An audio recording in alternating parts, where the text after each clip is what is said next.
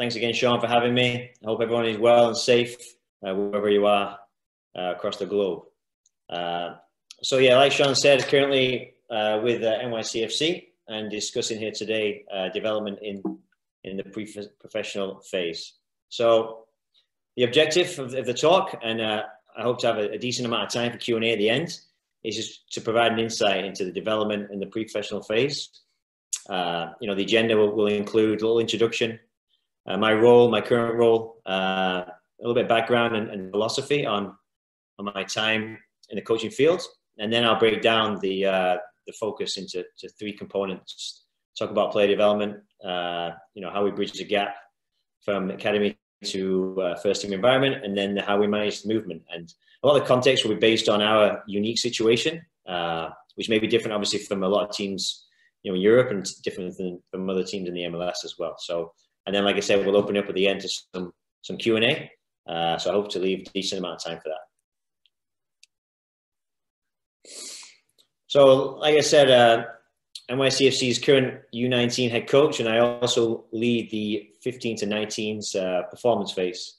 Uh, I've been with the club now going on on five years, and I've always coached in the oldest age group. Uh, we started the academy with uh, one team, and then went to 14s and 16s, and then when we went to a full-fledged academy with the 19s, I I was in until the league folded recently. I was in my third year uh, with the 19s, and uh, as Sean alluded to, uh, we had some success uh, in the past two years.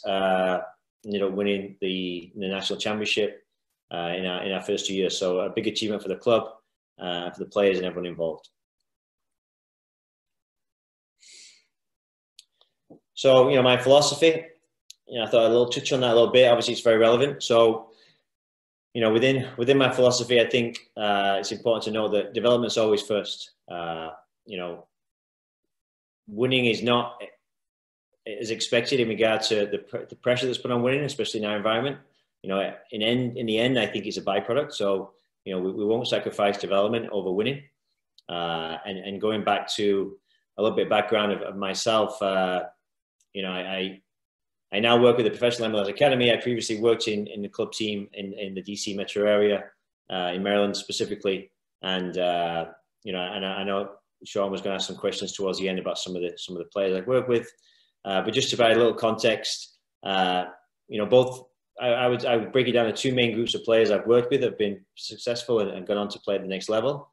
Uh, the first the first being, you know, the OBGC Rangers team in, in the Maryland area where I think there's around five now playing professional. I think from one team about around eight of them went on to the professional ranks. So you know that was it, where I kind of applied my trade as a coach and, and, and learned a lot uh, in action and, and on action in regard to how to develop players, uh, and and as a result, you know, winning became a byproduct, and then a lot of these players went on to play, and in different leagues. Uh, some of them, mostly in the MLS, but some went to Europe, and uh, and now obviously with my my role with the NYCFC, the the pressure has never been to win.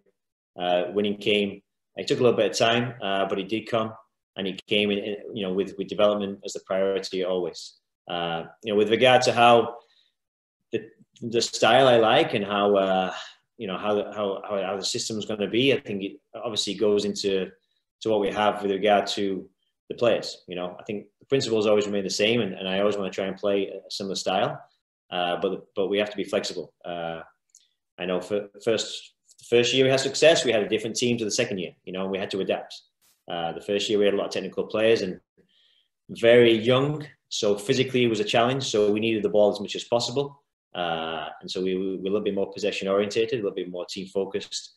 And you know, the second year we had some some real pace in certain areas, and we became a little bit more uh, direct for for for for a certain style we needed. And you know, direct still with the same principle and the identity of trying to build and trying to play, and, and we just tried to stretch teams a little bit more because we had some real pace. So, uh, like I said, flexible, always based on the talent and the strengths of the group and, and always trying to get the best out of the individuals to reach their potential within that, that group dynamic. Uh, you know, within that, it's always a clearly defined style and identity. Once again, it takes time. You know, you need buy-in from the group, you need sacrifice and commitment. Um, and, and as a coach, I, you know, I'm always developing as a coach. I've been coaching for many years, and, and I think with regard to my coaching kind of journey, it's uh, it's what do I also want to become as, as I continue. So, you know, being a leader has become more more relevant in my current domain. You know, having a larger staff and working within a group, whereas previously it was more uh, individual based. You know, just myself, maybe one of the coach to help out. So just being a unit leader, you know, observe and, and communicate openly and listen to players and, and, staff alike. I think over time I've learned to be more composed, especially on the sideline. Uh, I think you can make better decisions. Uh, being emotionally stable also I think is important for players and being less reactive to situations. And once again, you know, just just progressive and, and you know I think we have a duty within the US to try and uh, develop creative players. Uh, you know, be different, be pioneering. That the landscape is is is a little bit different than maybe a lot of other countries. Uh, you know, and I grew up in the UK and, and moved across to the States uh, maybe 20 years ago. So I have, I've, I've, you know, come into contact with, with, various cultures in regard to, to the game itself. And I've seen the game of soccer in the US grow massively. And I think, uh, I think we, we're striving to find those, those world-class players and looking to develop those players that can, can engage people in the game. And obviously within the US, there's a lot of uh, competition for, sports. So we have to be progressive. We have to be pioneering, creative, and brave. And I think I always try and get that across to to, to players and, and, and how we play and, and the style we, we embody. So, you know, with that, we obviously create uh, a strong team culture and and we look to lead by example.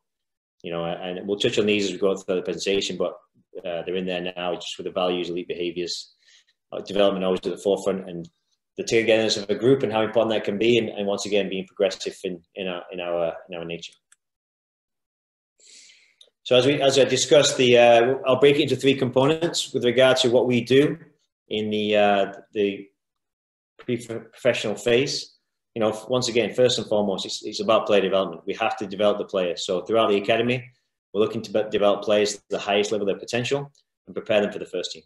Uh, within that, we work uh, a lot on individual development plans to maximize the individual talent, the potential of each one, knowing that everyone is different. So we have to cater for everyone's needs. Uh, you know, the non-negotiables and fundamentals are in everything we do. And, I, and once again, I'll, I'll, go through some of these uh, some of these slides so you can get a, a greater uh, amount of detail in these. Uh, always looking to support and enhance development of each player. And then how do we do that within a game games program? You know, the game experience for us is, is, is vital to to challenge them to make the jump, uh, challenge them to get uh, from our academy into, into, our first team environment. And you know, I, I, we don't have a second team, so it's a big jump. And we have a very strong roster and a, and a high level MLS team, so it's an even bigger challenge to develop, you know, a player within the academy that can get jump across and, and, play with the first team. So we have a lot of challenges in regard to bridging that gap. Uh, so we have to really focus on on player development and really break it down so that we can try and develop the best amount of uh, potential from, from players. We are fortunate that we have a, a, very good talent pool in the New York area, obviously a very diverse area, highly populated. Uh, we have our challenges for sure, uh, but we have the talent, so we have to really try and nurture that and try and get the most out of it. We are, once again, a, a very young academy uh, and, and a young club within the MLS, so we're still in our founding years and we've still got a lot of work to do, but we've had some success from, from development of players in the academy that have progressed into the first team environment. So just to touch on our development overview, overview here, a little snapshot on you know our, our objectives uh, as discussed. It's to produce players for the first team. You know, to be, produce players for for the highest level uh, as we can, and, and, and internet, not just MLS but internationally, so that we can uh, make an impact with our first team and beyond. Uh, what in addition to that, it has to be we have to produce outstanding people. You know, uh, and if you look down through the slides, it's it's our, our, our, focus is not just on the players, on the person as well. And, uh, and, and the staff are at the forefront of the development, so we have to produce uh, outstanding staff. So, whilst players have individual development programs, the staff do as well, and it's uh, it's a very strong approach we have with regard to that. So, if you look at the, the, uh, this chart here, it shows that we have the objectives, the, the, the program, the culture, and the, the general work and the characteristics that make that up. Uh, the values we've talked about in the culture, and then if you go down to the bottom, there's the negotiables and the fundamentals that, that are in everything we do. And these are really important that we that we get across, and they are daily reminders of what we need to do uh, to develop players within within our, our system and style to progress through to the first team. The pathway, you know, we understand that the pathway is uh, is never linear. You know, players go through different uh, ups and downs, and, and and every player is unique. You know, and especially within US, uh, there's there's options to go via college. Uh, there's options to play, uh, you know, abroad, and, and and through that, it's it's the competition that's important. And you know, there's a lot of success that players will have along the way, and there are, there are a lot of challenges, and it's about you know balancing those and uh, making the most of each player's individual qualities. And once again, charting their their progression and charting their development, so that we understand as they get closer to uh, potential first team, you know, where are they at and where do they need to go? You know, we obviously we're very fortunate within the city group. We have, uh, you know, partners and, and all across the globe. You know, obviously Man City probably being the highest level one, but uh, clubs in in China, Japan, in, in Uruguay, in Spain, and in Australia. So we have the opportunity to send players uh, to get experiences. Obviously, within the US soccer landscape, college is a is a pathway, and whilst we haven't had many players via college because it's such the infancy of our program. We do have players in college programs that we hold in high regard, and we believe that at some point they may be a professional player for us. So we have to be be aware of the, the college program as well. Uh, we have to be aware of all the different avenues that we can we can use to, to get players uh, ultimately into our first team. With regard to the IDPs that I touched on, I'll, I'll just give you a snapshot so you can get an idea of, uh, of what the IDP entails and, and how we work with, with each player. Each player within the 15 to 19s has a specific IDP program, and in the younger age groups as well, they have their own uh, version of this. So, you know, with regard to the IDP, it's a lot on the player, and it's a lot on how they how they uh, can progress and, and utilize this tool uh, with aid of the coaches, the staff, their teammates, and uh, other external factors. So after we set the goals and objectives, we put it into an action plan. Uh, then it has to be implemented in the training and the games and in, in the daily life. Uh, we understand the barriers that are, that are included, and then we look to review it and, and, look to review it and update it and look to make sure it's relevant. And, and it's always changing. It's an ever-changing uh, program. So as we go through this this IDP, I just once again I'm happy to share this in another platform at another time uh, and discuss further. But obviously conscious of time, so we'll, go through what it looks like. Uh, you know, each player gets a passport they fill in. This is a player I, I took out the photograph and the and, and the name, etc., and some of the detail. But a player we had in the academy in the older age groups, and as we as we fill out the passport, we move into what we we believe is, is important. It's the, the goal setting. So uh, making sure that the the smart, measurable goals, and we go with uh, you know short term, long term goals. So that we break the season in half. What what we're looking for in the first half, and then in the second half, uh, progression to that, medium term, one to three years, and then a longer term in, in, three plus years. So, I think this player in specific, which which is why I use this, he was he was very uh, realistic at his level. He was very realistic in, in where he was, but he had he had big goals uh, and, and he, he dreamt very big. And we talk about dreaming big and, and, and being able to try and work towards those. But he was realistic in his current level and his and, he, and you know his first half of the season, he just wanted to fight for a starting position. You know, he was a younger player. He was less physically developed. Uh, he wasn't uh, you know uh, one of our elite talent national team players, uh, but he had self belief and he has quality. So with that, he he he talked about fighting for position and then the second half of the season, you know, earning a position. And it was important that we understood where he was at. So each player grades themselves, and then the coach will also grade them. And it's less about the grades; it's just kind of a reference point. So you know, while we're not always huge on grades, it's, it's a good reference point for the the IDP process. Uh, after they've graded themselves, we, we the coach will grade them, and then we'll sit together. And if you look at the the grading, it's, it's, it's pretty aligned. Uh, we break out break it down into into four areas: the technical, tactical, psychosocial, and physical four components and they'll grade themselves. And this is, you know, this evolves over time, this, this uh, IDP, You're constantly changing and we're always updating it. Uh, so this even from last preseason has been updated, but I thought I'd give you a snapshot of what it was like. And uh, once again, it's, it's, it's understanding where the players view themselves with regard to the coach and then kind of finding a common ground so there's, there can be room for improvement and room for, for the ability to work together. Uh, so he, this player, once again, was, would get a good realistic view of where he was at a lot of the grades are very in sync and it allowed us to, to connect on, on what the future would hold for this player. We break down the, the action plan, three, three objectives we, we, we work on over you know, maybe four to six weeks, five to six weeks, and we do that probably five times a year, uh, and sometimes more, sometimes less, depending on the player, depending on the age group. So they'll come up with a learning objective. We'll tweak, we'll guide them if needed, uh, and then they'll they'll discuss how they'll work on it. Uh, who can help them with this, uh, depending on what the objective is. They can be technical, tactical, some can be physical, uh, and then we'll work on this over time. And we we encourage them and we guide them to, to, to take this on. So is it before practice? Is it after practice? Uh, is it outside of practice? Who do they need to, to fulfill these, these development and action plans?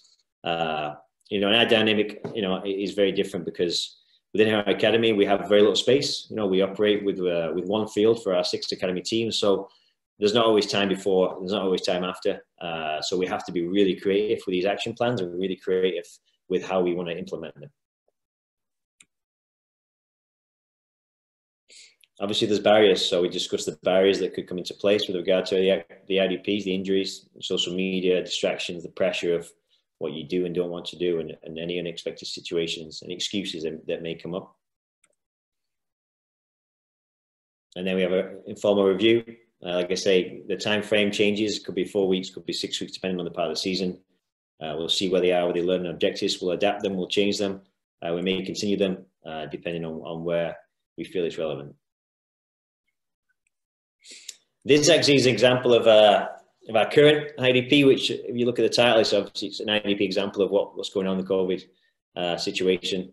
We are doing a lot of IDP works with the players, but knowing that in the New York City area, it's very, very uh, different for each player. Uh, they come from different variety of backgrounds. We don't we don't know whether everyone has access to the right amount of, of space or whether it's safe. So we're trying to adapt and, and cater to, to those needs. So uh, this is just an example of what we've done for 30 day diary for players. Uh, I'm not going to go into too much detail, but it just gives you an idea of their objectives that are in there.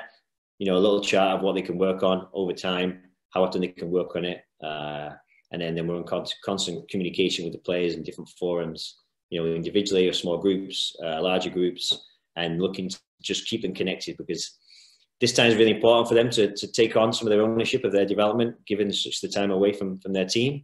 Uh, so the, the staff have spent a lot of time working towards uh, a variety of, of, IDPs, and this once again is just a snapshot of, of what a 30 day diary would look like uh, during our, our current uh, situation. So now, as we as we go on to the second part of uh, second part of the of the component, you know, with regard to the development phase, we've talked about the development aspects. Now it's about how do we how do we bridge the gap? You know, how do we bridge the gap with regard to, you know, the players uh, who are now looking to get from from our academy uh, into into the first team. So, a little context of our setup. Once again, new academy. Uh, we, don't currently have uh, an MLS second team, a USL team. So the, the gap that that often often would would bridge uh, is not there at this current moment in time limited space and resources with regard to, to, to what we have available for training. Uh, you know, it's New York City. Uh, once again, we have a lot of talent, but very limited space. So uh, we have our challenges for sure. And within the academy, we have to be creative. So that's the context with regard to our setup. And now it's, you know, how do we deal with that? Uh, we're very fortunate. We have a huge connection with the first team staff.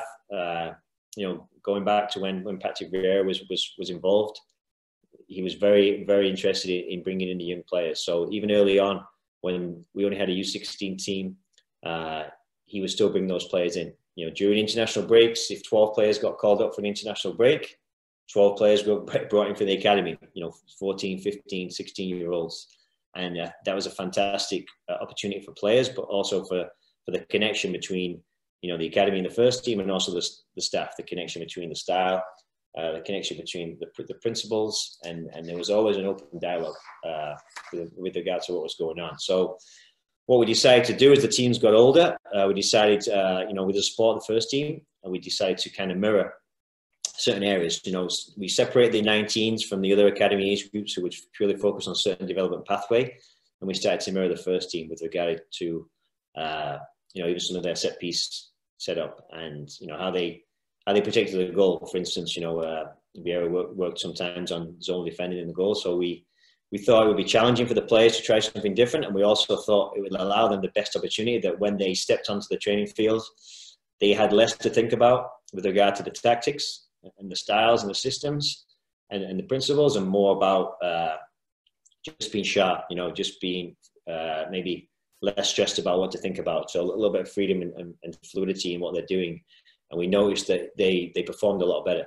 So, so a lot of the work we did with the 19s, you know, going back to the, to the first year where, where they had some success with the national championship, they, a lot of the stuff we did was, was mirror the first team, you know, how we pressed different scenarios, uh, you know, mirrored the first team, how we built different scenarios once again, mirrored the first team. And, and it really allowed us to challenge the players to get them out of their comfort zone and some of the stuff they were doing, they, they would see on a, on a regular basis with, with the first team in the games, and it really connected the group. So uh, there was there was a lot of open dialogue. You know, as a, as a staff member of the academy, I was open to, to all the meetings with the with the first team uh, training. I would I would watch training, observe training, just talk to the staff. Uh, we had lost the first team staff members would come down to training, help out, watch. Uh, going back even back a few years, you know, did this the first team coach. You know, Bear Bear would come to games stand in the sideline, come in the locker room. And what it did, it really connected and it bridged the gap that we that we didn't have with with a potential second team, with a potential MLS two team at, at that point in time. So very fortunate, you know, Domènec continued this uh, constant progression of players being brought in from the academy to the first team, constant uh, training opportunities uh, pre-season. You know, every pre-season we we send six to ten academy players. Uh, it's a real eye opener for them. It's fantastic for the development. It's fantastic for the club, and it allows us to really push push players and push the uh, push the, the, development of each player. So, you know, that has been really fortunate for the club, and, and you know that continues today with with the new staff coming in. Once again, we uh, we had a big group of players with the preseason. They were very fortunate in the fact that that they had uh, some high level games lined up, and given the break the MLS has, the players were, you know, the first team players were not really physically ready to play uh, against, you know, we had two Brazilian teams, Palmeiras, Corinthians, we had lined up to play. So they needed the academy players and they threw in 10 academy players against a Brazilian high level team. And, and uh, the goal was just to keep the scoreline down and the, the, boys did fantastic. Ended up, I think we were, we were 2 0 down when they threw in 10 academy players and we just hoped it stayed in single digits. Uh, ended up 2-1, you know, so the Academy boys, you know, pulled the goal back and really represented the club well. And, and, and just to see the connection, I was fortunate enough to be with the first team for that, for that pre-season trip. And just to see the connection with the players and the first team players, uh, and the academy players and the staff, it really does, you know, it's a special bond that, that, has been created throughout the club. Uh, you know, he started from Claudio and it went all the way through. So, you know, the connection and bridging the gap has been there. And, and I think we're very fortunate in that respect. Uh, you know, in order to get the players ready for these opportunities, the, the culture and the elite behaviours that are required are really pushed in the older age groups. Obviously, they're introduced to the younger agents, but they're really pushed. We, we, we want to make, make sure that when they step into a first team environment, when they when they're there in the first team locker room, that they are, you know, respectful, they're ready, uh, they're professional, and and that they they can take care of business. So we basically want to provide the best opportunity so that once they're on the field, they just have to be ready to train. You don't have to think too much about the tactical aspect because that's been covered. Uh, it's been you know worked on for months on the training field and, and put into games. Uh, the culture and the elite behaviours has been been pushed in the academy, so that that's there. Uh, and then they just have to be you know mentally fresh as possible. And you know once again with with regard to the the requirements, we then start to push you know the requirement of, of winning in the 19s uh, as well without sacrificing our development beliefs, but winning you know is, is more relevant. So how to find uh, you know games that, that can challenge them. So we play a lot of men's teams. Uh, you know, we probably play ten or twelve men's teams just to give them a different idea of, of, of what, what the game is like. Uh, physically, a little bit different. Styles obviously different, and then you're playing against you know players that are 10, 15 years maybe older than you that have played at a decent level. And and uh, the last thing I want to do is chase around young academy kids. So it's uh, it's just a different mental challenge we give them. Uh, we try and give them international experience as much as we can. Uh, we always try and play them up if possible. You know, we try and just do things differently so that we're, we're able to uh, once again bridge the gap and and once again, and sometimes fortunate enough to play a friendly scrimmage against the first team when they need a tune-up or when they need uh, you know some of the uh, some of the maybe reserve first team players need to tune-up and and those have always been very advantageous to the academy and I think uh, eye-opening times the first team because it, once again the boys are always prepared for that and they're always up for it. and it allows them uh, the opportunity to, uh, to, to showcase and get get a taste for what's next. So we talk about culture a lot. Uh, what defines our culture? Uh, you know, it's the, the shared objectives we have and the values and behaviours that define what we do in, in, within this, the staff and the players. Uh, and it's you know it's, it's, values and behaviours that we, we instill on a daily basis. So we're, we're big on culture. Uh, over time, it's really grown, and, and you get to see that now with players who have maybe moved on into college. They're still very connected to the club. Players who've been homegrown, they're still very connected to the academy and come down. Always, you know, show their face at training if they can. Uh, they'll do a lot of these Zoom calls that we're doing right now. So they're very well connected, and, and this is something that we're really big on: is developing not just the player, uh, but developing the person as well. And if they go hand in hand, I think we, we, we've done our job. It's, we want to really challenge them, but we want to really care for them, and we want to have make sure that they they uh, understand the values and they're important. The elite behaviours, which we touched on, uh, just to go in a little bit more detail. There's a few on here. I'm not going to narrate every one, but uh, it's important here. We have have clear goals, you know, and, and, we, and we've, we're always looking to be obsessive in what we do. Uh, and clean feedback at the bottom is a big one for us. Can, you know, the, the, clean feedback of of what each player can can get and give. Uh, really try and open things up so that they're part of the process. And you know, we're very lucky to have uh, a lot of players who've been through been through the academy and then gone into the first team, and they can they can embody these elite behaviours throughout.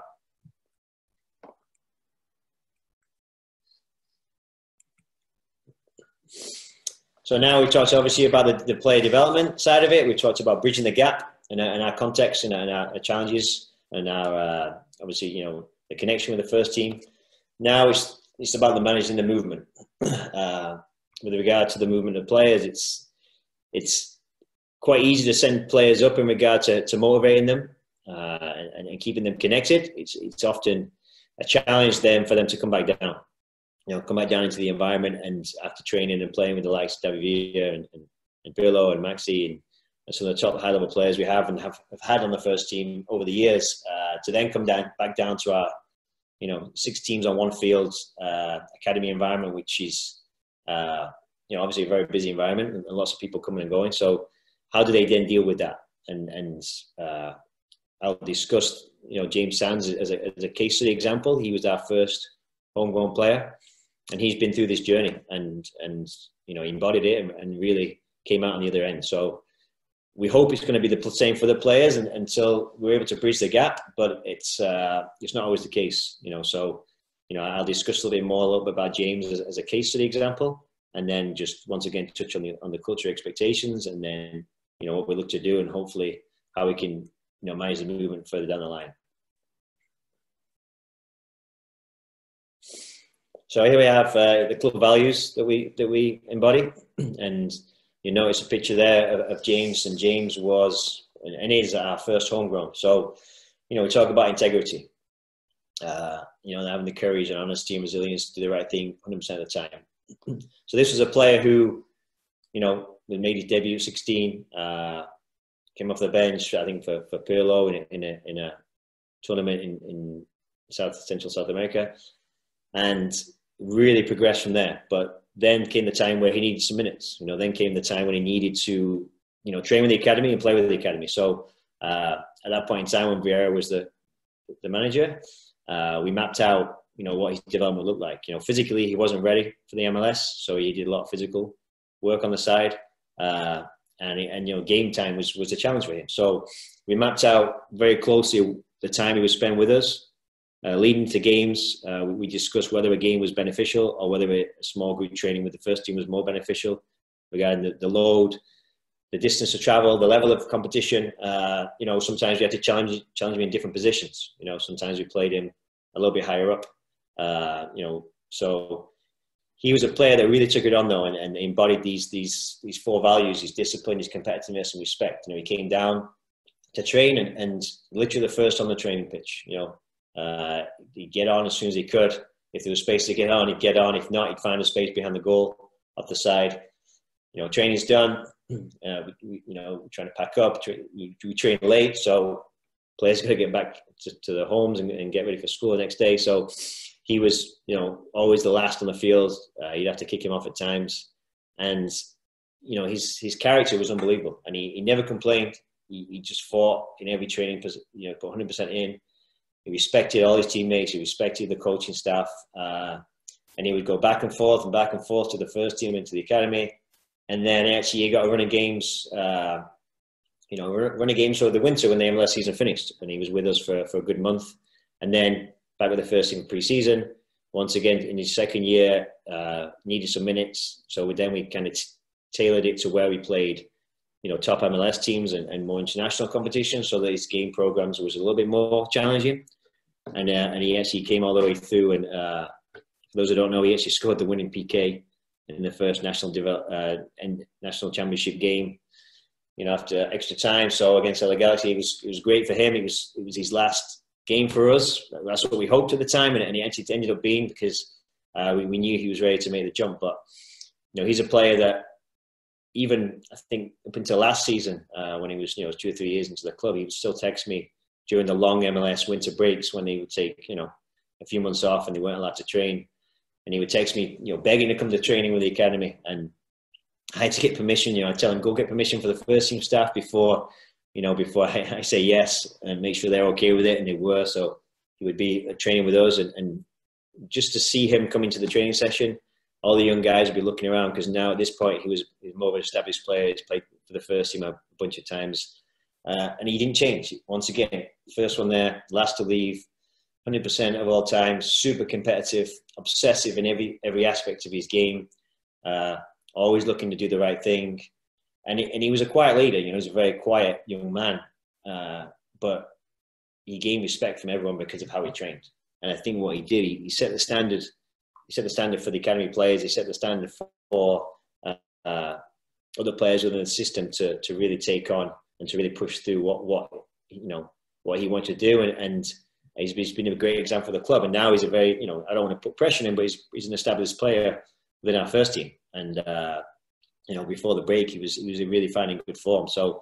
Uh, you know, hope he can continue that. Uh, but a great example for us to have, and, and he's kind of the, the poster boy snapshot of the academy because he he embodies all the club values we talk about. He embodies, you know, everything else we talk about in regards to, to player development and, and the person and the character. Uh, and he has gone through the journey. And, and to do what, what he's done, the players now had to do the same. You know, we had Joe Scally and Tayvon Gray and Justin Haak, other professional homegrowns that have had to spend a lot of time in the academy because uh, they haven't had the, the opportunity to play or go alone at, at this point in time. And, and uh, they always look up to James still, and, and you know, I all I have to do is reference how he was when they were playing, and, and it's a perfect example. Uh, and so, you know, like I said, very fortunate, and he's, he's a great uh, role model for everyone in the academy, and continues to do so on a, on a daily basis.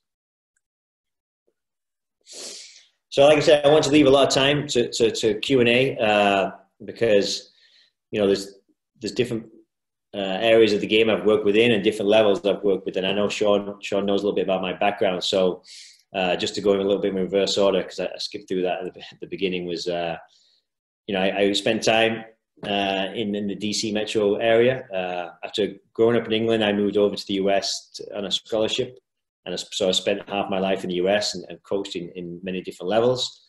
Uh, I worked with a club in, in, in Maryland, and like I said, it was from a small town team that was together for a long time. I think eight, eight ended up in the professional ranks, uh, which was very unique. I don't know if it will happen again. And uh, five, I think, now uh, in and around the MLS ranks. Still very connected with a lot of them. Uh, one of them actually, Gideon Zelalem, who went to Arsenal at a young age, actually full circle now. He's back with in the MLS and he's with with NYCFC, so I get to see him on a regular basis and then just to fast forward that a few years, I, I ended up moving to New York, uh, working for a club in, in, in, New York City as a technical director, just uh, as a different avenue with a club called Dusk, which was a great experience, an affiliate of NYCFC, and then my journey from there uh, to join the academy. And like I said, I've been there now uh, going on going on five years, and, and, during my time with NYCFC, obviously once again uh, relevant to the to the topic, development in the pre-professional phase uh, able to work with another bunch of players that have bridged the gap and moved from you know elite level academy into the professional ranks. Uh, obviously, James being one of them, and then you know Joe Joe Scally following him, Justin Haak, Tayvon Gray uh, have all come through our academy, and obviously Gio Reyna, who, who's obviously well known.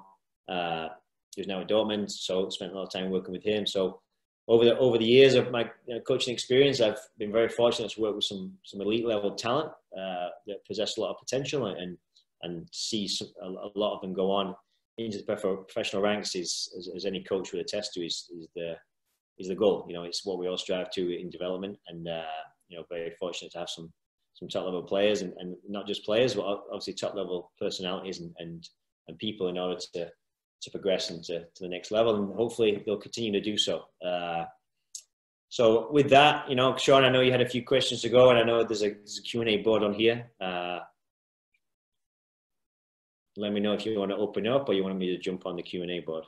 Um, like I said, I'll um, I'll start, I guess, because I um was fortunate to very briefly cross paths with Matt when we were in New York. Um, he was helping with a program at um, Avenues to School there in, in the arena, um, and I was coaching at that point as well. So I've been fortunate to see Matt work and see some of the things that Dusk were doing at that time. Um, and I think my question kind of revolves around that whole pathway that you mentioned, Matt. I mean, a lot of this came from working with um, with Olney over in Maryland. And um, how have you carried that? I guess what was the thing that you saw there that has just carried through your your coaching career to this point in terms of the development of players to play at that elite level? Because I think at that point that success rate is phenomenal compared to any other you know amateur youth club in, in any country, not just in the US alone. I think first and foremost, you know, there, there was always a level of a base level of talent. Uh, you know, it's, it's, difficult to develop high level professional players if, if there's not a base level of talent. So there's always talent there, and then it's about how you nurture the talent. And you know, a lot of, a lot of what you can do with with these elite players is is just to kind of nurture them. Uh, you don't have to do as much really in the development aspect. There's certain players that really development wise they were so far ahead, you know, of, of other players that you just had to nurture an environment where they were challenged, you know, they, but they felt safe. Uh, they, they were challenged but safe, but and, and and you and you you want to be strong with them and you want to you know be firm with them and, and get them out of the comfort zone but you also you didn't want to be soft with them so you had to kind of really find a balance to to kind of get that last part of, of their development right uh, and then there becomes a point where there's only so much we can do and, and the environment for them is, is important they have to move uh, to, to a higher level and I remember, remember Gideon Zelalem we, we played him up two years and he, every time he played an older team or every competition it was just far too easy. It was just far, you know, far too beyond at his point in time. So moving across to Arsenal uh, at that point was, was, was what made sense. So, uh, you know, going back to your question, I think I've always also been very fortunate in that, you know, there hasn't been pressure to win. So we've been able to experiment. Uh, we've been, always been player development focused. We've always been relevant in, in that regard to, you know, there's no one ever said, listen, you got to win these games. You know, uh, when I coached in Maryland, uh, had a great group, group of parents, great coaching director, really supportive club where it didn't matter if we win. We didn't win actually early on. We, we, we lost a lot. Uh, but we always we, we saw a long-term vision and the players bought into it and the players stuck together and, and uh, as a result now they're, they're all still very connected and a lot of them are, you know like I said I think there's you know five or six that are still playing professional uh, they're still pretty young uh, and the same at NYCFC you know working for, for, for Claudio working for the club that once again winning was not important. You know, they didn't even look at standings. They didn't look at the USDA standings. They didn't care. You know, whatever ranking we were, uh, they just wanted to come and see progression. They wanted to see player development. They wanted to see us developing individual players that could play the next level. And they wanted to see some kind of identity to what it was. So we were always big on that. Like I talked about, philosophy is like the culture that's created. You know, togetherness that created. Uh, I think, you know, going back to to, to compare both teams, uh, both groups, uh, the togetherness was unbelievable. You know, obviously many stories about about that and, and how they kept together, but uh, they stuck together, and the, the, bond they had on and off the field was was really important, and that was something that, I had to try and nurture, and and it took time and it took patience, and uh, you know the belief system that they all bought into was great. So, you know that was what I, I could you know compare with the two groups. Uh, and, and they were in different, you know, completely different dynamics. One was a small town team in the DC metro area uh, that I coached for a long time throughout the throughout the age groups. And then see see I've always been the oldest age group players have been passed through the system, and and, and uh, so a little bit different. And it's given me a really good, you know, big scope on what uh, what it takes to develop players, and also that, that every player is so different. And, and what I did with one group, I can't do with the other, and vice versa. And even within, you know, two years at NYCFC Academy, we had to really adapt our style. because of the dynamic and the personnel and the strengths we had uh, within the team. So I think obviously always learning and evolving and, and being willing to change is important, but having a, a, clear identity of what we're trying to do and not trying to change and not trying to react too much to, to what's going on around you. So you lose a game, you know, uh, not reacting too much about why, and, and, you win a game, and not reacting too much about you know getting too com- complacent in regard to, to that's that you fixed it. It's always going back to your beliefs and values, and, and working and training really hard, uh, sacrificing a lot of time to, to the process, and then if you have a, a you know a, a, goal, and we always talk about dreaming dreaming big, uh, I think that's very important. mentioned a little bit um, about you've got parental buy-in, I guess, is a big part. I mean, working in a professional academy, it's a little bit easier because um, you're a professional academy. But when you worked in the in the youth club scene, both in New York and in Maryland, how did you how did you manage that? The parent education, the parent buy-in for that vision that was clearly successful, but it can oftentimes not be so easily recognised by the parents in that way. I think early on it's about educating the parents. You know, I think getting face to face with the parents and, and helping them understand that you know you, what you're trying to do is is for the player's best interests. And I think if you are able to to open that up early on, and, and also have have guidelines, you know, have guidelines about this is what we're going to do, and explain why. Uh, like I said, I was fortunate enough that early on I didn't have any pressure, so I could really experiment and try and and and, and watch a team go from not winning to, to winning a lot. Uh, you know, I think if, in other environments there might have been a lot of pressure for people to to jump and leave and move around, and, and there really wasn't because the core group of, of players uh, believed in it and, and, they and they enjoyed it and they embodied it. So that was that side was lucky. And then when I moved through into into uh, into New York, it was once again I had that experience and, and to look back on it and and what I discovered was that the education of parents and the communication of parents is important, uh, but also having having barriers, and, but making them understand the, the, the why behind it. You know, the why you don't want necessarily uh, certain parents standing on the touchline watching training because how it affects their child. And I had a lot of examples. I had a lot of really good examples about players that are now playing professional. That uh, you know, going back to one example was many years ago. We were playing in a you know national tournament, national finals. Uh, I can't remember the year, but they were you know 17, 18, and one of our players literally could not focus the whole game, and he was he, was, he was kicking the ball out of play, he was tripping over it, he, he was all over the place. And, and this player plays plays in the professional league. He's, he's played the highest level, uh, national team, etc. And you know, I asked him uh, what was going on, and during the game, you know, there was a lot of fans, and the, and the other team had a lot of support, screaming and shouting the whole game. And through all that noise, all he heard was was, was one of his parents, uh, who was doing it to protect him because she felt the pressure. She wanted to help him. Uh, she wanted to nurture him. She was the mother, you know, protected her child. Uh, and she'll admit she didn't really know that much about the game. She just knew she just cared for her son.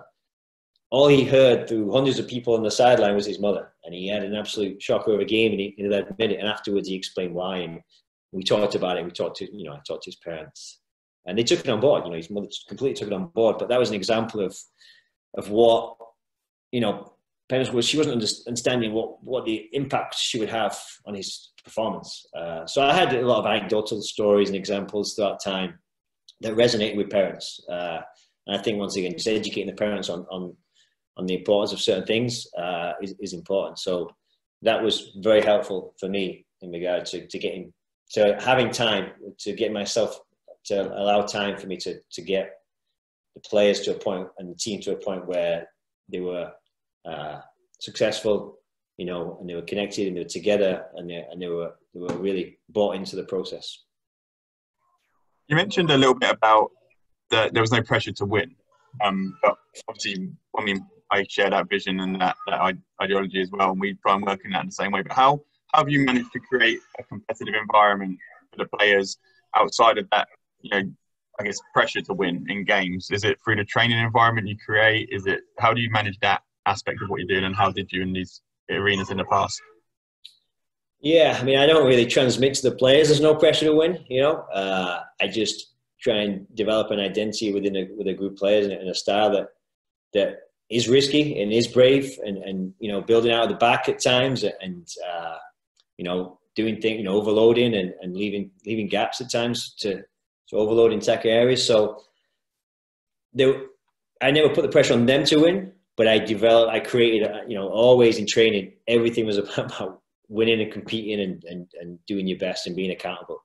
Uh, and if they didn't win, then you know in the game, you know, it wasn't the end of the world as long as they you know put the effort forth. But in the training environment, we created a lot of things. A specific, of course, where you know that five sides, you know, three sides, whatever it is, you know, one v ones. Uh, where it actually was very, very competitive. You know, where they they hated to lose, uh, and they would do anything to, to to win, and we rewarded that that mentality. So we, within the environment, we always create a very strong winning mentality uh, in all age groups. Uh, you know, especially in the older age groups, and that's why we also try and I also try and test them always. You know, I put them in situations where they will lose. You know, you say we go on a you know five six winning streaks. You know, and, and understanding that eventually that bubble will burst when the timing of that. So I would always you know maybe be cognizant of okay, we've got these games coming up. We're winning a lot. They're getting complacent. Uh, now, how do I reset them? Because you know, a month later, maybe there's there's a playoff game, or maybe there's a big tournament. You know, in the older ages that we do want to win. Uh, you know, a Dallas Cup back in the day, or a GA Cup. You know, in the current situation, or playoffs, etc. The DA. So I would then try and scrimmage, you know, try and get a game against a, a high level men's team, or play if they were younger, play an older team. Uh, to challenge them, to really get them out of their comfort zone, and just to reset them, and to humble them a little bit, and and always look to play the teams, always look to play international teams as much as we could. And any time that we would go and play, and we, we you know, both groups took took opportunities to go and play in Europe, and uh, and it was great because you know there's no pressure to win, but we we'd come back from those those games, and our level of intensity and our speed of play and our competitiveness was was three four times higher uh, that we couldn't replicate on a, on a weekly basis. And I would say that those, those kind of opportunities and those trips really pro- allow players to progress and develop at a faster rate. So that's, I have a big belief in that, in having players be challenged, you know, in, in, in, playing all the teams, always playing all the teams when it's obviously safe. Uh, look to now play men's teams as much as we can. We look to try and play college teams right now as much as we can. You know, any experience against the first team as much as we can uh, is value so valuable and and you would also we would you know when when we played a, a, team that was you know professional academy team from a foreign country, you would see the the players that could make it to the next level, and that for me was a great great snapshot of okay this player fantastic every week, but the level of competition is not great. Now they're playing against you know Real Madrid or Liverpool. Uh, how do they how do they raise their level? And, and the top players that, that did go on to, to play or, or playing professional, they were the ones that they could adapt. You know, the speed of play, they could adapt. You know, uh, the pressure, they could adapt. The limited time on the ball, they could adapt. And the players that could adapt were the ones that stood out. And it also it reinforced that, yes, this player has what it takes to go to the next level. What do we need to do next? You know, because the current environment is not enough for them. How do we challenge them again?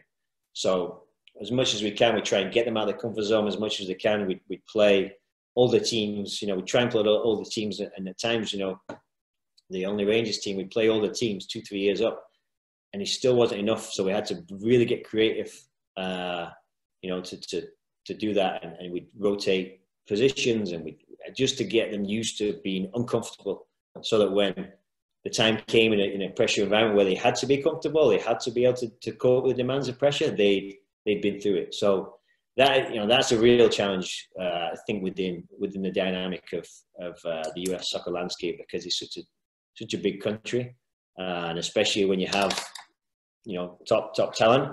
Uh, how, how do you do that? So that's something that, that is still an ongoing challenge for us uh, day to day. And over time, it's always been, and I've been, you know, lucky enough to have the opportunity to take the teams to different environments and to challenge them in those ways. You mentioned overloads and leaving gaps. On that note, I'm going to hand it over to the Q&A board, and one of the presenters from last week, Dominic from Holstein Kiel, has actually asked a question of you, Matt. Um, he's asked, what is more important, individual goals or team goals? Referring back to the individual development planning. Do you think that it is not critical to set a goal like scoring the five goals first half of the season as the player you um, you showed had as one of his goals? I think it's, it's you know it's a little bit dependent on uh, the environment and, and the club and, and you know our our goal is to develop professional players. So you know we're not necessarily looking to develop the team. We're looking to develop individual players within a team and understanding that team you know can carry an individual. Uh, I think it's important that we, we we really work on both of them, but we don't sacrifice an individual for the sake of the team. You know, so we have to look at a player. An example would be a player that needs to play up. You know, a player that needs to play up may not be at that moment in time as effective as a player that's two three years older and physically develops, uh, but they've, they've hit their, their peak. So we may then have to look at this player now and say, okay, we'll put this, this player in who's three years younger. He may not be as effective right now. We may not win this game because uh, he's still got a long way to go. But in three years, this player will be way ahead and on a professional pathway, whereas this other player who's already physically at his peak will not. So, you know, that's why with regard to the individual development uh, in, in, my current domain is, is really important. And, you know, I, I, if you have a bunch of talent, which, which with both groups that have been referenced and with the last two national championship winning teams with NYCFC, we had a lot of talent. So we didn't have to focus on maybe the one or two top players. We could focus on the seven or eight top players. So in essence, we, we ended up focusing, the, the team kind of led the development a lot of times. Uh, but if, if it comes a point where we only have two or three elite talents and the rest of the team uh, we don't see as that level, then we have to cater and move and work really solely focused on, on the individual player. So uh, I think you can work both for sure. And we don't neglect players that uh, we don't think are going to be pros because we think they, they deserve the best uh, development opportunities and they can also then aid the development of what we do see as a potential uh, elite talent. Uh, and setting individual goals, I think, is also just part of part of the process, and that is is fine. You know, I think it's it's part of uh, what what a player needs to strive towards. Whether the goals are uh, you know metric or whether they are more based on like their development of a certain skill, uh, I think e- either can be kind of pushed in a certain way. So the player reference, he set a target of five goals. Uh, you know, it's about okay, how do we what, we can spin that in the regard to how effective are you are in the final third. You know, uh, are you getting into the right position to score? You know, if you're playing in this area, are you getting the right position to score? And if not, can we improve that? And then will in turn this improve your opportunity to score goals? And then can we work on your on your finishing? So that is just kind of a, a you know a, a, goal that we can then link back to the development of, of that specific player. Has that kind of got geared towards the player being participating in that goal setting process to become more invested and engaged in the process. And, and you guys can extrapolate from that like you mentioned how he wants to score five plus goals we can make that about being more effective in the final third and, and getting into goal scoring um, areas. Is that kind of how you would link yeah, it yeah yeah 100% yeah that uh, so like i said we can we can guide these these idps we can if a player you know wants to score goals then we have to look at okay so how can we score goals? You know, say if the player, the, the nine's like great finisher, but doesn't really want to work, but we want to press. So we will then, you know, we'll break down the ability to to press as a group and how now we can win the ball higher up, which in essence then we can hopefully create more chances and then you will score more goals. So we'll we'll look we'll use those as a way to spin what we want to get of players, and so we get buy-in. So th- yeah, they're putting down often what they think is important, and we will often then look to spin with them. Okay, you want to score more goals? You're a forward, great, and, and you can score goals, but you're only scoring goals when someone's you know putting you in a goal, or someone's crossing the ball to you, or basically uh, there's some kind of set piece. But we're not scoring goals now in transition, and we're not scoring goals of winning the ball up high when we're pressing. So if you want to score goals, then buy into this process. This is what we do as a team. This is what looking to develop, and then in essence, in turn, you will score more goals. Um, Gary has asked, it's a great idea that the under 19s mirror the first team in preparation to set up for that level, but does the club or the city group dictate in any way to the first team coach and manager what that club philosophy philosophy must be and what they must fit into? Um, and how does that impact on your role as phase lead and the U19 coach?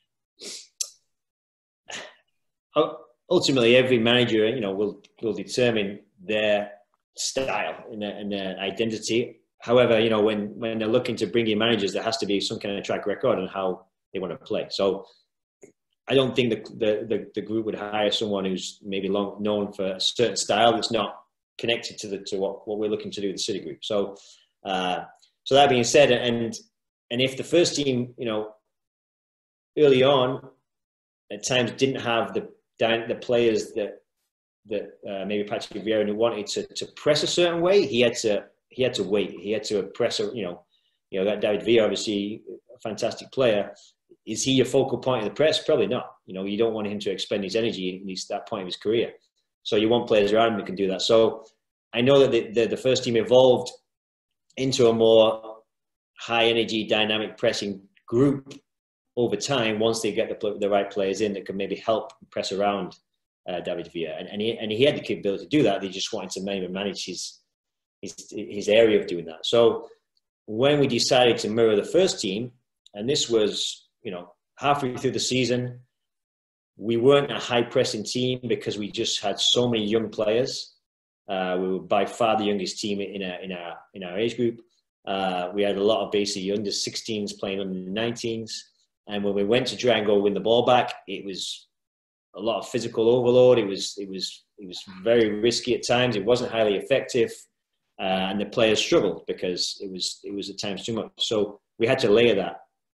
So we decided that okay, well, over the winter time, we had the time to do this. So we the transition part of the season, we worked on it all the time, and we basically said we met with the you know I met with Patrick and we sat down and and they how they pressed and they were going in, they were just going to start their season they were going to start pressing so I thought you know what we're going to do the same and if it doesn't work then fine we'll challenge them we'll get them out of the comfort zone uh, listen, if get if a press gets broken, if for the first month it doesn't work, we'll get fitter, we'll get more used to it, we'll get more connected, we'll be challenged more, we'll be out of our comfort zone. We may not win every game, which is not, not the end of the world at this point in time. Uh, and so we decided to do that. So we decided to, to, take that on. And that changed a little bit of dynamic because we were, we were a little bit predictable. Uh, you know, when we played certain teams, we were a bit predictable at how we were going to play. And this added a new dimension. Uh, even all the way through from, from you know, when we started that in the winter, all the way through to the summer, when we when we beat LA Galaxy on penalties, and even in the final, you know, against a very highly talented team, a lot of top top level players who are, who are still playing now in, in the ne- in the next level, we still went out and pressed, uh, and we pressed a certain way that was difficult, and we pressed a certain way that actually, you know, we learned from from the first team. Uh, you know, similar to what Liverpool do with the, the kind of a flat three midfield and, and the and the, the wide, you know, the the eight and ten, so to speak, would go and press the fullbacks. Uh, we adapted, so we, we really took on what the first team were doing, and because they had a style that was development based, you know, uh, they played a style that they liked to build from the back religiously. Patrick Vieira liked to build from the back, which is great for development. So yeah, we'll mirror that. They like to go press high and engage and go win the ball back. Great for development. Let's go do that. So if their style was different and it was just route one, long ball, get on the second balls, or it was you know low blocking, then we wouldn't have taken that up. Uh, we would have we would have con- continued with our development process. But a lot of it matched up with what we look, wanted to do, and we just tweaked it to a higher level. Uh, and then we adapted just you know we adapted to do the uh, to zonal defend because we thought it would challenge them. And then if they ended up being a pro and having to do a zone defend, they've at least done it. They've learned it. You know, we, we we switch sometimes a set piece, what we've done in the past, uh, to do a bit, bit of man marking, a bit of zonal, a bit of both, more sort of preparing for the next level. Not because maybe we thought one was more effective than the other. And that's what we always look to do. And, and like I said, going back to the first team staff, we've been very lucky with the first team staff that have always been brought on because they want to play a certain way. And that, that way is, you know, it's dynamic, it's creative, it's, it's attractive, it's, it's, it's uh, development based. So as, as, a, as an academy, we're very fortunate that we, we can mirror that. And we can mirror that. And, and if we mirror that to a certain extent, we can help develop players. When it comes to developing those players and finding that they're ready for that next level, who's the who's the driver in that decision making process? Do you guys push it, or do they? Is is there a, link between the first team and your group that, that kind of facilitates that, or do you push that from your end? It's a little bit of both. Uh, you know, Claudio created a really open, uh, you know, communicative platform, very strongly connected uh, staff. So we would link, you know, the, the, the older age, age group coaches would discuss with this with the uh, sporting director and the academy director. We'd have discussions. We'd always have, you know, we'd have uh, charts on, on players and where we think they're at. And, and then once again, when they would, they would watch our games, we'd, we'd go and do an international tournament. We'd review who the top players were. Uh, and then it, ultimately we, we try and get these players into a preseason opportunity or when the first team came knocking, we need, we need a defender. We send the players that we thought would, would be ready for the next level. So organically, the first team got familiar with these players, and we weren't pushing. Okay, you got to sign this player. So okay, this player can help you in training, and then they would come back and say, "Oh yeah, this, we like this player. This is why." Or no, we prefer this player. So over time, it was just a constant uh, up and down. You know, training with the first team and, and the, the number of opportunities that players have had with the first team is, is unbelievable. So even though, you know, those early years when the kids were 14, 15, 16, they'd be up there for a week at a time because it was an international break and, and they wanted to fill in the 12 players that were missing with 12 academy players. You know, it might have been eight, it might have been five. Uh, and so they had so much experience that they got to know the players. And then when they went on pre-season, we would recommend the players for pre-season. They would then pick the ones that they knew were comfortable with, position-based, numbers-based, etc. And before signing a player, everyone in the club, everyone involved in the process from the academy into the first team are well aware of these players' capabilities, well well aware of the dynamic of this player. You know, uh, their, their strengths, their weaknesses, that you know their age group, their their background, etc. Uh, and so that ultimately it's a collective decision that is made, you know, with the first team staff and obviously the sporting director uh, ultimately. But it's it's something that happens over time, and, and the academy, especially in the older age groups, you know, myself and the older age groups coaches and the and the academy director. They're all involved in the process of who do we want to push, who do we think is, is, is the next potential pro. Uh, but we ultimately don't make that decision. That's, that comes from uh, the first team. But it, like I say, it's very collective. It's very uh, open lines of communication, and it happens a little bit organically with the time that the players are able to, to spend. You know, each of our homegrowns, I would say, have probably probably spent, and even James just went to preseason to help out initially. You know, spent 30, you know, probably been exposed to 30 opportunities with the first team before they've even been signed. Mentioned uh, touched on what you mentioned in reference to the the space you guys have obviously new york is kind of a different animal space and field availability so they're kind of working how do you work that space and and as your u19 group how how much time do you get allocated each week in terms of and what space do you have to use with the with the group uh yeah, cha- challenge to say the least. So it, it, it's changed, to be honest. We've had to keep adapting and changing it to try and find a better formula. Uh, initially, you know, we had we had the one team and then we had the two teams, so it wasn't really an issue. And then when we went from two to six, that became an issue. And uh, we have three time slots. So ultimately, the, the oldest team gets the latest slot, uh, which it's tough for them getting home late. I mean, it's such a massive commitment on the players' parts there and the families, the amount of driving they have to do.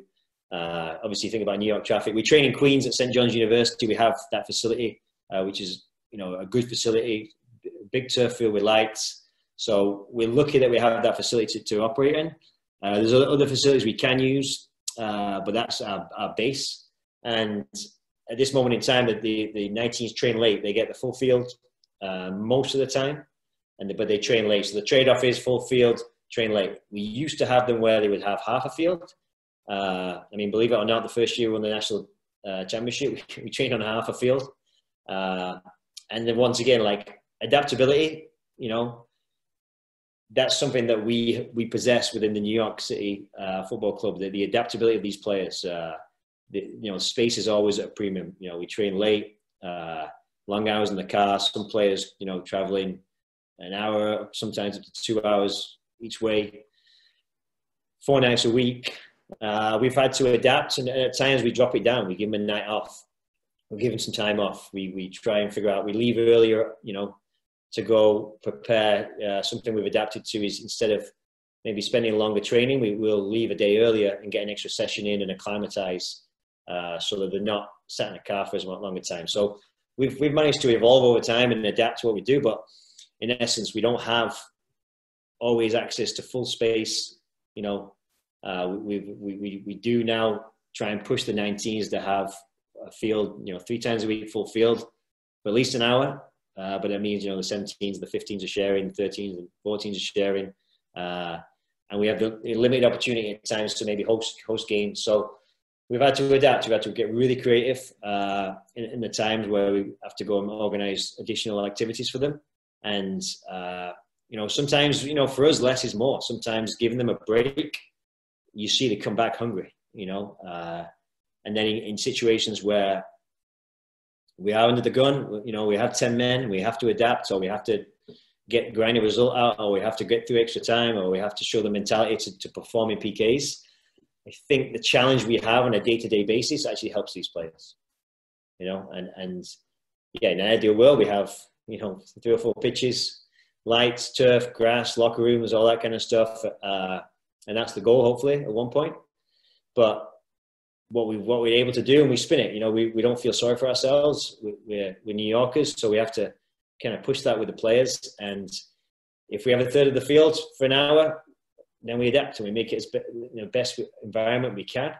Uh, and we have to make sure the players want to be there and they love being there. For the most part, they do. And when we see that that's kind of tapering off and they're exhausted from their academic studies, their physical load, the games program, the travel, I give them a couple of days off. Uh, and I think that's something we've learned over time that, you know, early on, we were really trying to push so much and we had a little bit of mental, physical exhaustion. So we just, we, we kind of pull it back. Uh, and there's certain times of year when we have more space, more time in the summertime. You know, is, is we're actually changing the day, and uh, we actually do better at those times of the year, which is why I think we have some success towards the end of the year. Is that you know uh, we have more space and time, and the, and the boys a little bit more relaxed that moment and less stressed and, and less tired. Uh, but yeah, it's uh, it is a challenge. Uh, one hundred percent, it is. But like I said earlier on in the, in the discussion, we're fortunate we have the talent uh, to work with, and, and I think we we take that over talent over space any day. And yeah, well, you showed a little bit about the plan at the moment in this obviously current situation, which is very difficult, but and long term. But obviously, in the northeast, there's number of other challenges that you guys face, and weather and, and, and wise and that. Is that how, how do you guys plan around that in terms of that? You utilize that for game analysis, video. What do you do in those situations where unexpected like situations arise where you can't train? Yeah, in the winter we go. We, we rent a bubble. Uh, Columbia University. We have some bubble space. We we train in the cold a lot.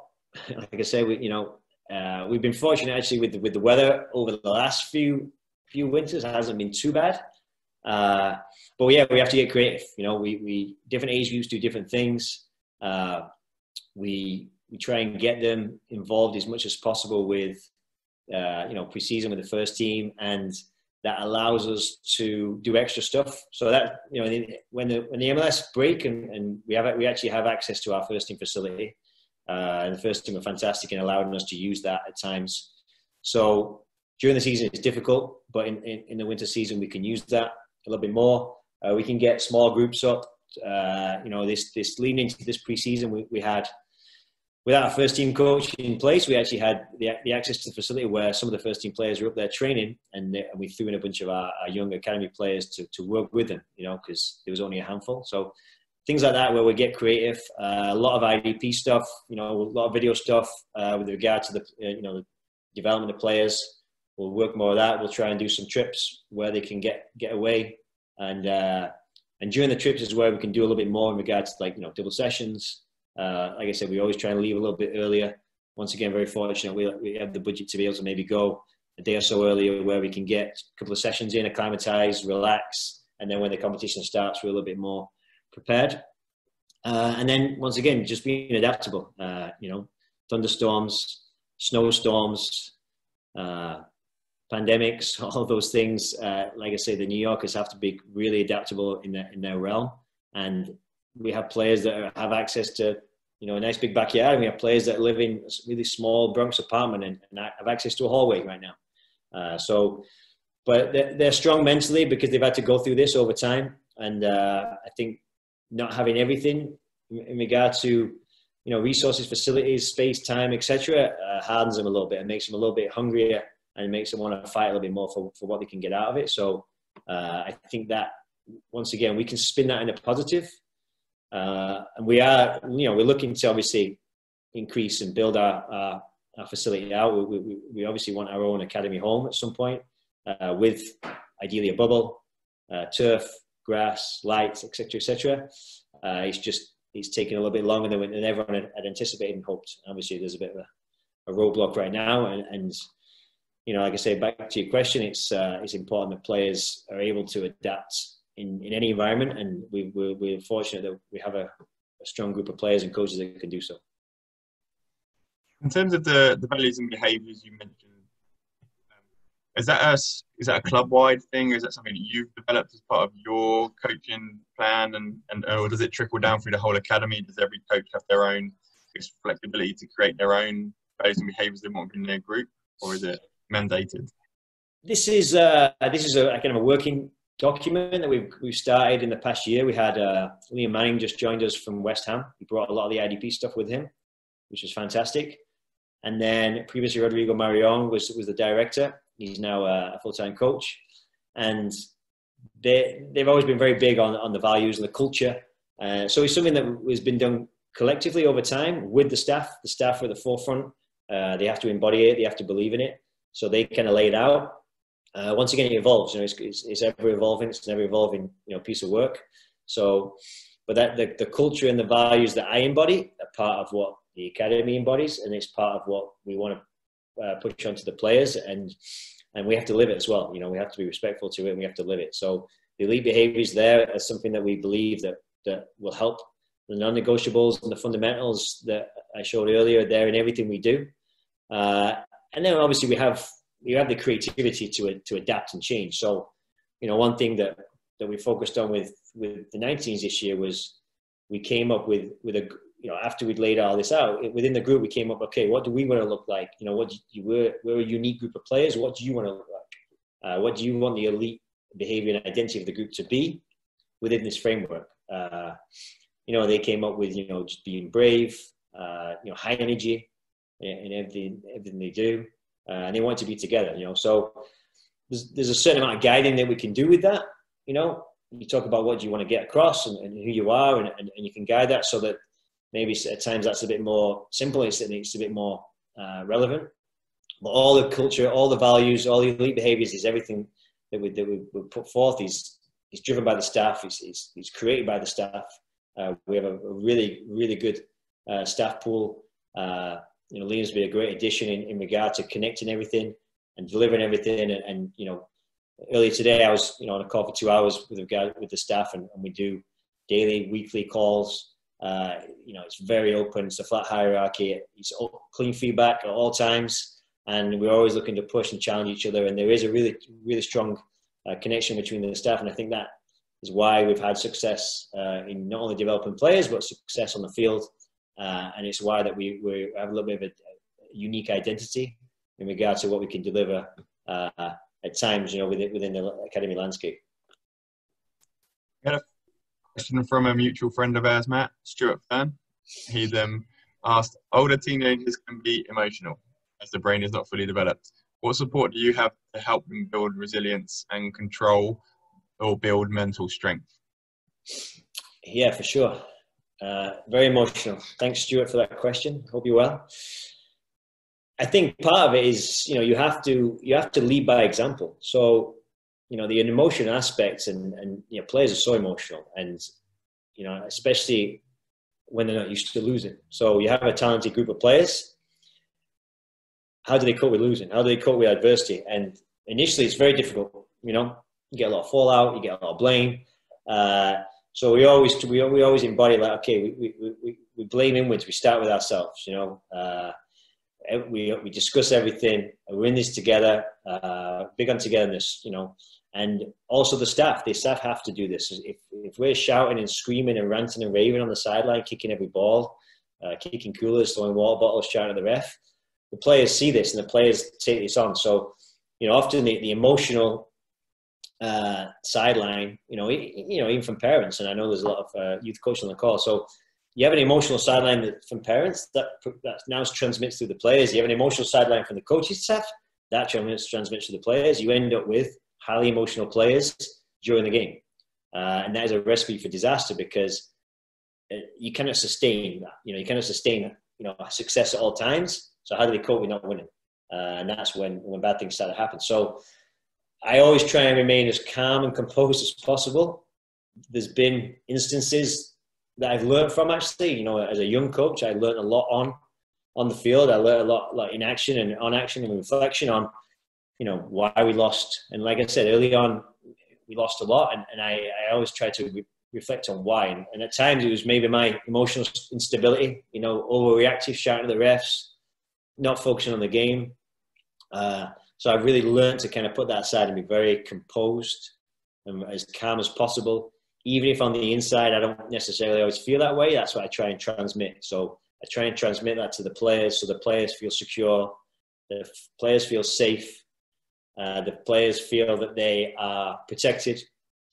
And there's examples where, where you have to stand up for your players at times. You know, there's examples that, you know, I recently heard a podcast from Jake Rozhansky, who a player I coached for many years, and he had Jeremy Ebobisse on there, and they were they were giving examples uh, of their time together. Uh, and you know, there was always that together protection that they felt. They felt safe. They felt safe in our environment and under myself as a coach, but with one another. So uh, it takes time to nurture that, uh, but you have to embody it. You have to live it, and you have to lead lead by example. So you can help at times with the emotional instability of players by by nurturing that, and also you can give them experiences where they ask they are going to fail. They, you set them up to fail so that they come back stronger, uh, and you can do that by playing all the teams where the expectation is not to win a game. You're playing all the teams. You have a little bit of, of a little bit of an excuse, so to speak. Although you know we don't want excuses, but uh, are you playing in an international tournament and, and the levels are really high and these you know professional players involved? So you have something to go back on. So you give them the opportunities to fail, so that then they can get mentally stronger. Uh, and if you see them always dominating, then you have to find ways to to, to manage that and, and, and to tweak that so that they can they can learn uh, they can learn to lose at times. They can learn to fail, and they can come a little bit stronger. So that's what I work towards. Understanding that each age group is completely different. At U19, for the most part, they're less emotional. Uh, you you know go down to U15, and, and you know as a as a phase lead now, I spend a lot of time observing the 15s and 17s and the 19s. And emotionally at U15, it's it's so different than the 19s. So there has to be a different uh, level of uh, management there. You know, there's a bit more at times maybe nurture, uh, but there has to be a certain level of clean feedback. So you hold them accountable, but maybe you figure out a way that, that each player is also a little bit different. So maybe one player might crumble if you if you make an example or you, or you talk about them in front of the group. So you may have to you may have to spin that differently. You may have to be more individual. Some need the arm on the shoulder approach. Uh, some need a kick at the backside. Each one's a little bit different. So spending time to get to know the players, and also listening to the players and, and, and you know observing. You know, I think uh, going back to one one one coach, you know, uh, that I really respect over time. You know, Alex Ferguson I read a lot about him. His his ability when he when he became a Man United was to step back and observe, uh, observe players, and, and he really improved his man management. I think is really important, even at the youngest age. Was just you know during the warm up, step back and observe. You know, get get stuff set up so you're not rushing around you know, you give them time to do their own thing, little rondos as, as, they get going, and you step back and observe, and you see you see who the leaders are, you see who who's high confidence, low in confidence, uh, and then you start to build uh, the development for each player individually within the team dynamic, and you and you figure out what what's needed. And like I said, each player is unique, each team is unique. It's not a one cap fit all. You have to be constantly changing and evolving, and and uh, but I think you know, in essence, having emotional stability yourself will help the players with their emotional state. Thanks, Matt. I think you may have answered this partially in the next one, but we'll give it one last question and then we'll we'll let you go for the night. Well, for the day here, I guess in the UK it would be night time. But um, people, a couple of people asked, yeah, people are coming on, they're just starting their coaching journey. Um, what would be one piece of advice you would give to encourage them to keep progressing? What one real key coaching aspect, be that psychologically or mentally or tactically. Would you would you give us advice to these guys to ensure that they do keep progressing and developing as coaches? Yeah, uh, like I said, I was very lucky that you know I, I went. I joined a club where the, the, the, director was very supportive. You know, there was very little pressure. We had a good parent group, uh, so I was fortunate that I had I had time, and I, and I, you know, I was able to stay through the course, so to speak.